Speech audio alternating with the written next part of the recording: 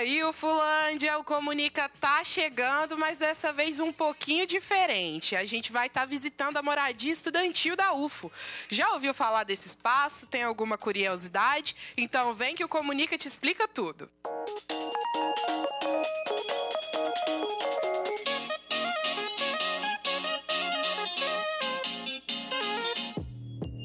hoje quem tá por aqui é o Vitor Bueno mais uma vez. Bem-vindo, Vitor. E aí, Brenda? E aí, galera? É um prazer inenarrável estar aqui novamente no palco do Comunica.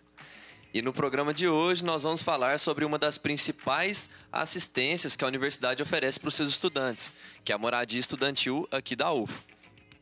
E não para por aí, viu, pessoal? Como sempre tem um espaço de cultura aqui no Comunica, quem veio tocar aquele som bacana foi o Didio, com um pop rock incrível.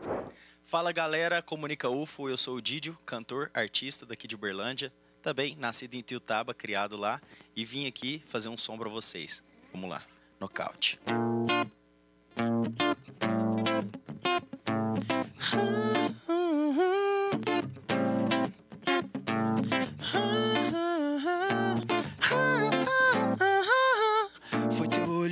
Bater. Que eu já não podia fugir sem querer. Quando percebi já foi nocaute. Teu riso, blackout. Perdi o chão nesse combate. No corpo a corpo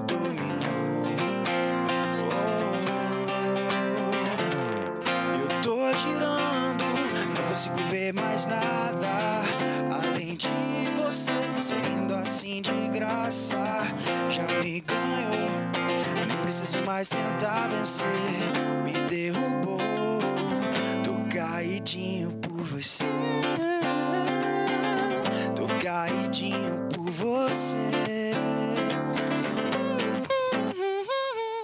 Teu olhar é como um golpe que me atordoa. Queima como fogo. Sem espaço pro empate. Teu riso blackout, perdi o chão nesse combate. No corpo a corpo dominou. Oh,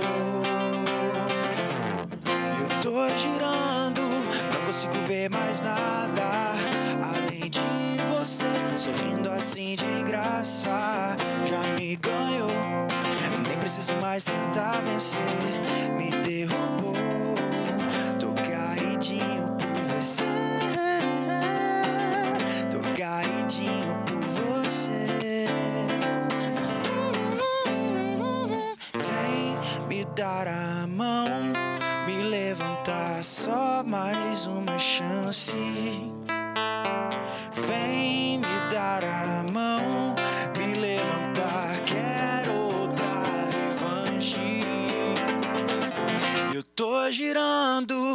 consigo ver mais nada além de você sorrindo assim de graça.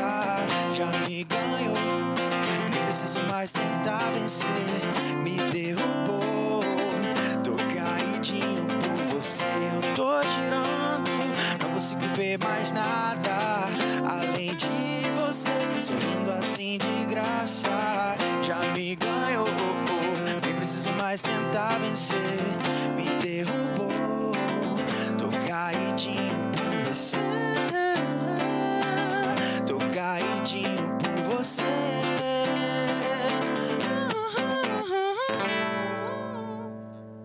E você já se perguntou onde fica a moradia estudantil da UFO? Como que é o espaço físico, a estrutura e quem que faz uso dela? Os alunos que moram lá? Pois é, muita gente tem dúvida, né, Vitor? Então, por isso que a gente foi até a moradia estudantil. Vamos conferir essa galera incrível que a gente encontrou por lá?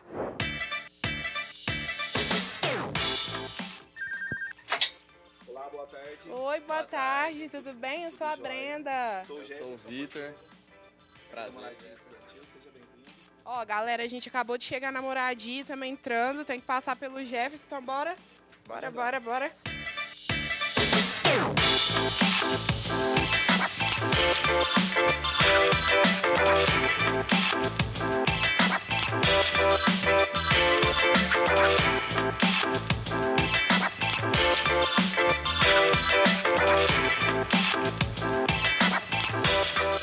Eu cima pro apartamento tentar tomar um cafezinho. Lá. E aí eu te espero por lá, tá? Tchau. Fechou, te encontro lá. Pois é, pessoal, eu confesso para vocês que eu nunca tinha vindo aqui e eu estou impressionado com o tanto que é organizada as coisas. E um dos motivos dessa organização é a coordenação da divisão de moradia estudantil. E para isso, a gente veio falar com a Karine Zago, que é a coordenadora do setor. E aí, Karine, tudo bom? Tudo bem. Muito prazer.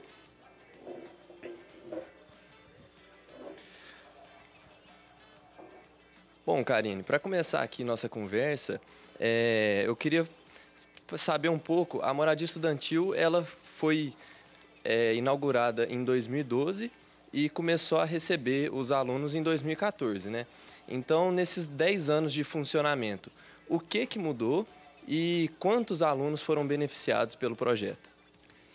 Eu acho que assim, de estrutura, como é uma estrutura nova, a gente não teve muitas mudanças. Mas em relação à organização, né, a gente aprimorar a organização da moradia, a coordenação, acho que isso foi acontecendo durante os anos. Então, uma das coisas que a gente pode destacar é a criação da divisão de moradia estudantil que não existia, né? Que ela é de 2019.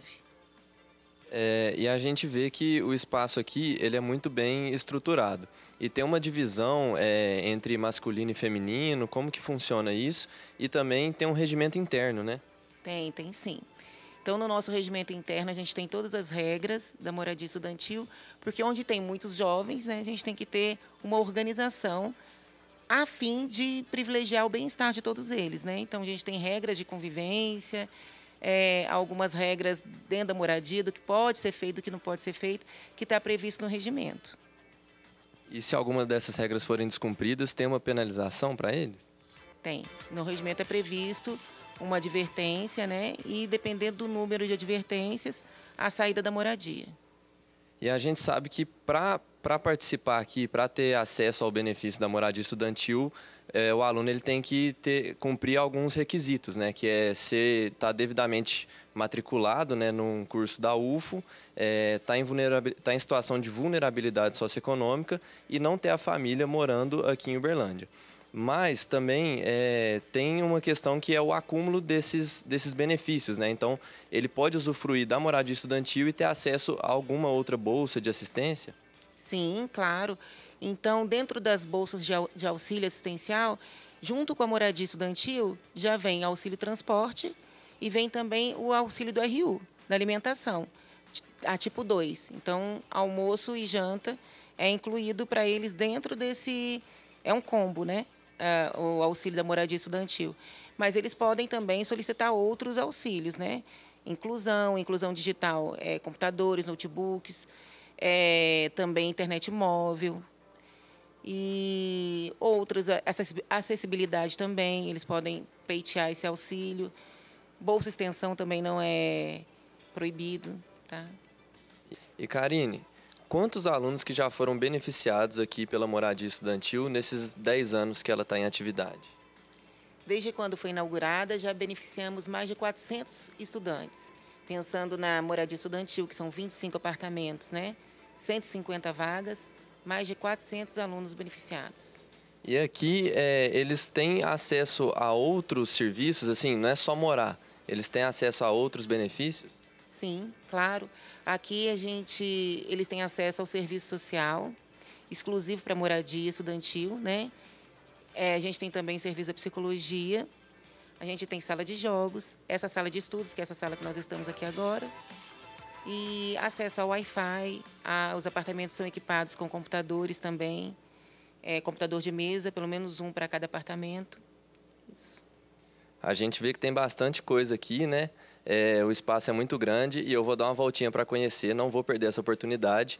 Vou encontrar com a Brenda, que eu já estou sentindo o cheiro do café.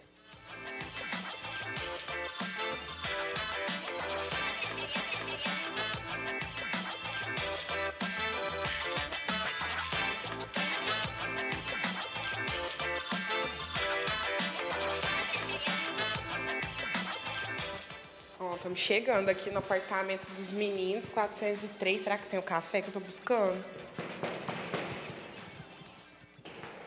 Oi, boa tarde. Oi, boa tarde, tudo bem? Eu sou a Brenda do Comunica e vim aqui conhecer seu apartamento. Por favor, entra. Ah, posso ficar à vontade? Pode, Ah, não, aqui. então tá bom. Vou ficar à vontade. Vou sentar aqui no seu sofá, que eu achei lindo, por sinal. E aí, você que é o Jonathan, então, conta um pouquinho pra gente sobre você, qual curso que você faz, quando que você decidiu vir aqui pra moradia? Certo, eu sou de Brasília e eu moro aqui desde 2019. Eu faço medicina. Então, só um minutinho que tá chegando gente nova por aqui, né, Jonathan? Você, seu nome, seu curso, desde quando você tá aqui na moradia? É, Alan, eu faço artes visuais, entrei na moradia em 2019, em setembro. Pessoal, agora pergunta para vocês dois mesmo. A gente queria saber qual que é a importância de estar na moradia para cada um de vocês e como que vocês pensam que estariam se não fosse por esse auxílio da UFO. Podemos começar pelo Jonathan, tá ok? Certo. É, para mim é muito importante estar aqui porque a moradia ela garante que a gente possa se preocupar só com os estudos e não precise ficar procurando né, outras coisas, assim, pagar aluguel, contas, essas coisas. Então garante mais rendimento para a gente. E se eu não tivesse aqui, eu estaria num- numa condição pior, assim, uma moradia mais de baixa qualidade, né? Porque os preços dos aluguéis são altos e tudo mais. Então aqui a gente tem muita qualidade, os apartamentos são excelentes e isso garante um conforto muito bom para a gente se focar nos estudos. Bacana, né, Jonathan? E você? É, eu concordo com o Jonathan falou. A moradia é um ótimo lugar para morar. A gente está aqui já tem um tempo e a gente se dá bem. E eu acho que se não fosse aqui, eu estaria em outro lugar. E a questão é a condição, né? É uma condição mais precária, assim. Mas a moradia ajuda a gente bastante. E como que é aqui a convivência no apartamento de vocês? Quero saber, porque parece que vocês se dão muito bem. Aí, mas eu quero saber também. Vamos começar pelo Alan. A gente se dá bem. A gente tem as tarefas aqui que a gente divide tudo certinho com os outros moradores que moram com a gente. E tem também as regras que a gente mesmo criou aqui dentro do apartamento para a gente se dar bem até a formação. Isso é importante, mas eles estão seguindo as regras, Jonathan. Conta aqui. Na maioria das vezes, sim. e quando a gente foge das regras ou acontece alguma coisa, o nosso acordo é fazer uma reunião e, e dialogar, né, para evitar brigas e conflitos. E a gente tem dado conta disso. E em casos mais extremos assim que a gente precisa, a gente leva para coordenação e aí a gente conta com o auxílio da diretora para resolver os problemas. Mas no nosso apartamento isso nunca chegou a acontecer. Ah, isso aí é bacana. Então também tem a supervisão do pessoal da, né, da moradia. Isso aí é bacana demais. E agora vamos escutar mais música boa, né? Vamos aí com Você Vai Voltar, do nosso artista que está no programa de hoje, o Didio.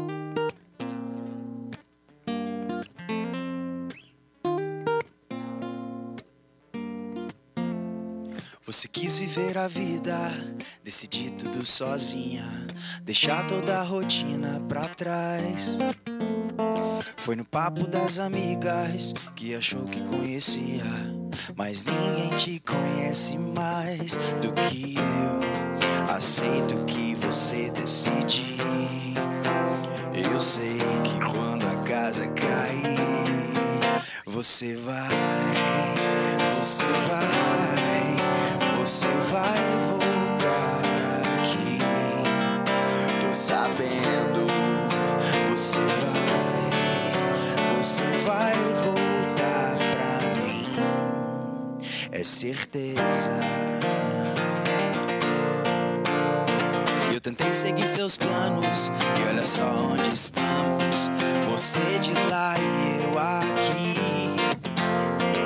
Correndo esse risco de cada um seguir o seu caminho. Mas nós somos erros bons de repetir.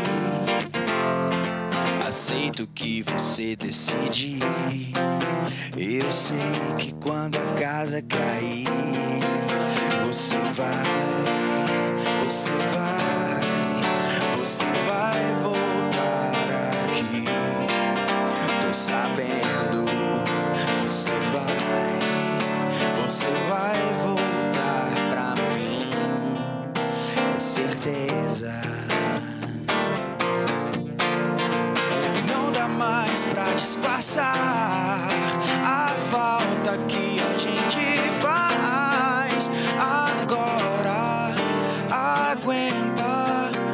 Você vai, você vai, você vai, você vai, você vai voltar aqui. Tô sabendo, você vai, você vai voltar pra mim. É certeza, você vai, você vai voltar aqui. Tô sabendo, você vai, você vai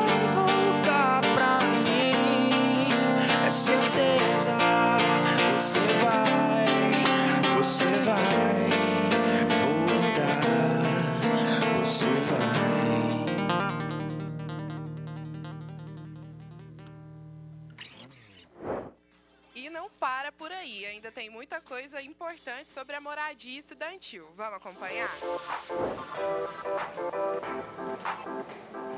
Cheguei aqui no apartamento dos meninos, já tô ouvindo a voz da Brenda, vamos ver se a galera tá aí. Oi, seja bem-vindo. tudo bom? Sou o Vitor lá do Comunica. Eu sou o Jonathan. Escutei a... Ah, veio pelo cheiro do café também, né? Eu sabia, ó. Sempre chega gente pra saber de café aqui. Eu fiquei sabendo, né, Brenda, que aqui nesse apartamento tem uma coisa especial que todo mundo quer vir aqui. Porque os meninos parece que tem alguns dotes culinários aí que são especiais. Mas, meninos, é, eu queria saber é, como que é o dia a dia de vocês aqui na moradia. É, a gente come... Eu começo, né? Já vou tomar o meu banho, preparar para ir para aula. Desço, vou pro, pro ponto e aí eu tomo café da manhã na UFO, passo o dia na UFO e volto no final da tarde. E aí eu preparo aqui, fico aqui em casa e janto. Depois eu vou dormir, estudar um pouquinho. E você, Jonathan, porque você faz medicina, né? Deve ser diferente um pouquinho, será? Só um pouquinho, eu já deixo as coisas preparadas no dia anterior, porque eu quero dormir um pouquinho mais. Aí eu também faço a mesma coisa que o Alan. E aí a nossa convivência é mais no final de semana e à noite, que aí a gente prepara algumas comidas, alguma coisa assim juntos, assiste filme e tenta curtir um pouquinho aqui o espaço. Bacana. E esses dotes aí, né, Vitor? Ah, pois é. é, E eu queria saber de vocês como que é esse deslocamento que vocês fazem. Se é, se é fácil, assim, ou tem alguma dificuldade? É fácil, a gente pega o ônibus aqui do lado e aí a gente desce lá na UFO praticamente. É bem fácil o acesso também aqui na moradia. Tem aquela curiosidade. Ó, pessoal, tem aquela curiosidade, porque para quem não sabe, a moradia está num ponto estratégico da cidade que tenta ali se aproximar ao máximo, ter a mesma distância de cada campo da UFO, né? Então, a gente sabe que o deslocamento é um pouco diferente, às vezes, para um, para outro, mas é uma curiosidade daqui. E o seu deslocamento, Jonathan, como que é? Diferente um pouco do Alan? Segue mesmo a mesma linha, assim? É bem parecido, né? A gente utiliza até um- a mesma linha de ônibus, só que eu vou para um lado, ele vai para o outro. E aí, na volta, eu ainda tenho a opção de pegar um outro ônibus que passa pela BR, né? Então, a- acho que a diferença é só a quantidade de linhas que a gente pode utilizar. E são poucas opções né, de transporte aqui na cidade, mas eu acho que o que tem dá para a gente se deslocar bem. E agora sobre a estrutura desse apartamento lindo, né, pessoal? A gente queria conhecer um pouco mais, né, Vitor? Pois é, eu cheguei aqui, eu vi que é bacana, tem o sofá aqui, os armários. É, vocês tiveram alguma dificuldade na hora de mobiliar? Como é que foi? Então, o apartamento ele já é todo mobiliado, só as plantinhas que a gente colocou mesmo. E a gente trouxe o que a gente tinha mesmo, cada um tem suas panelas, aí a gente juntou aqui tudo e a gente usa em coletivo. E aí fica aquela questão, né? Todo mundo quer vir aqui pelos dotes culinários, mas a gente quer aprender um pouquinho mais. Vocês podem mostrar o espaço pra gente, Jonathan? Podemos sim. Tranquilo. Então, bora lá? Vocês mostram pra gente como é que é? Lá por dentro. Aqui. Nossa, gente, aqui é muito bacana, bem organizadinho. Gostei demais até da vista que vocês têm. E tem mais alguma, assim, curiosidade aqui do apartamento que vocês queriam mostrar?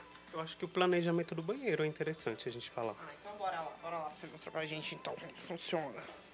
Ah, é por aqui, né? Certo. Aqui o banheiro é projetado para a gente usar mais de uma pessoa, né, por vez, porque são seis pessoas no apartamento. Então enquanto uma está tomando banho, a outra pode estar usando a outra parte do banheiro e tem duas pias também que as pessoas podem utilizar de maneira individual. Isso que é bacana, né? Porque a gente não imagina o banheiro assim, né? Geralmente é tudo junto, num ambiente só. Aqui a gente vê que são três espaços, né? Isso facilita a nossa vida na hora de sair de manhã, ninguém atrapalha ninguém, ninguém atrasa ninguém e todo mundo consegue sair no horário. Show de bola, Jonathan. E aí agora a gente quer saber de vocês. E o cafezinho? Vai ter cafezinho? Vai. Vai sim. Então vamos ver, vamos lá ver esse cafezinho então.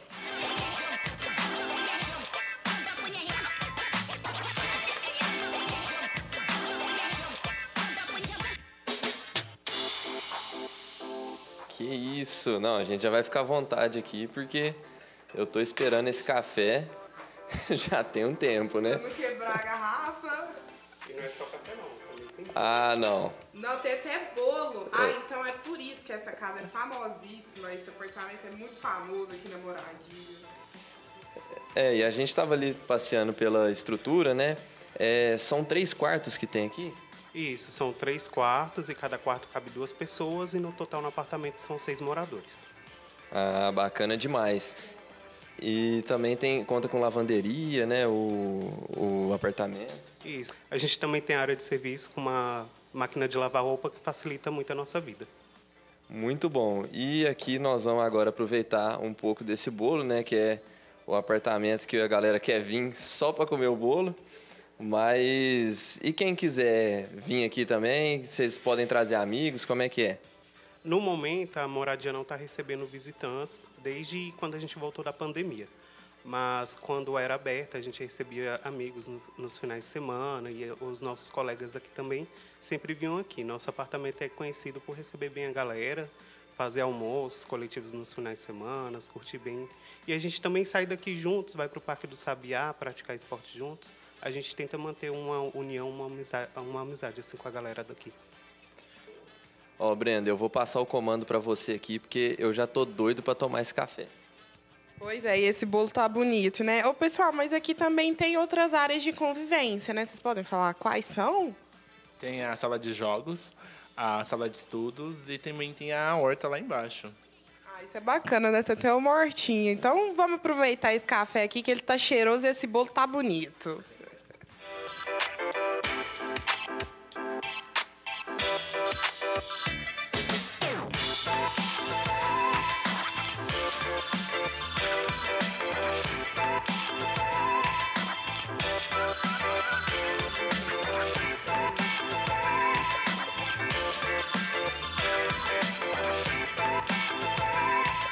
Pois é, galera, essa foi nossa visita aqui na moradia estudantil da UFO. A estrutura é incrível, realmente, assim, gostei muito. E tudo isso disponível gratuitamente aí para os alunos que se enquadrarem nos requisitos. Bacana demais conhecer aqui mais uma das assistências estudantis que a nossa universidade oferece, não é, Brenda?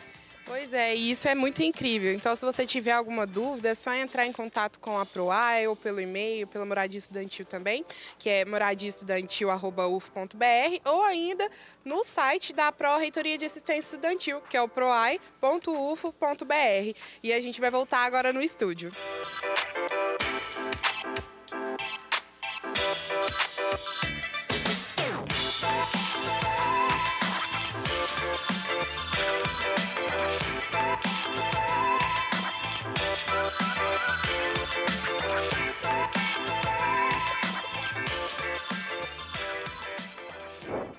E galera, se você quer ver a gente visitando algum lugar, nós estamos abertos. É só mandar sua sugestão que a gente bola a pauta e vai até lá onde vocês deram a dica. É, lembrando que tem vários canais oficiais, né? Que a gente pode estar entrando em contato. E vocês podem ir lá no Instagram da UFO, que é arroba. E também, além disso, né, Vitor, poder participar aqui da plateia do Comunica. Pois é, é só acessar o link que está na nossa bio lá no Instagram, preencher o formulário e vir aqui fazer parte dessa plateia lindíssima que é a do Comunica UFO. É isso. Até a próxima, UFOlândia. E, se, liga no Comunica. Galera, por hoje é só. Muito obrigado. Eu sou o Didio, cantor, compositor, aqui de Uberlândia. Vim lá de Tiltaba para fazer esse som aqui para vocês. Tô morando agora em Uberlândia e para quem quiser contratar meu show, 34 9964 9274. E também Instagram didio.oficial, também no Twitter, Spotify, YouTube, essas músicas estão todas disponíveis lá. Então segue a gente, valeu todo mundo. E essa é minha música de trabalho se chama Desapegada. Vocês vão entender por quê. Yeah. Yeah.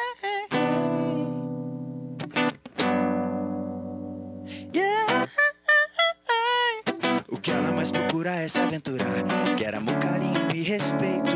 O calor do momento, agarrando sem tempo. Atrasada pro trabalho e querendo ficar. Tá sabendo que eu quero sua atenção. Nem precisa de elogio, sou um café bom. Sou atitude, mulher, corre atrás que quer. Se for cair no mundo, eu quero ir junto. Só pra ver que a gente vale a pena. Como faz pra ser alguém assim? Desapegada, mais grudada em mim. Seu jeito solto me prendeu. Já nem sei mais quem sou eu sem ela. Yeah. Desapegada, Sei que ela se importa com o que eu faço. Confia em mim quando eu não tô do lado. Mesmo longe, tô pensando em nós.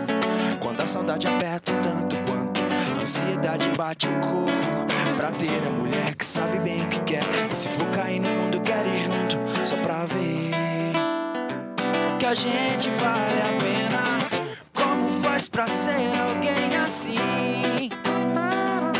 Desapegada, mais grudada em mim. Seu jeito solto me prendeu. Já nem sei mais quem sou eu. E como faz pra ser alguém assim? Desapegada, mais grudada em mim. Seu jeito solto me prendeu. Já nem sei mais quem sou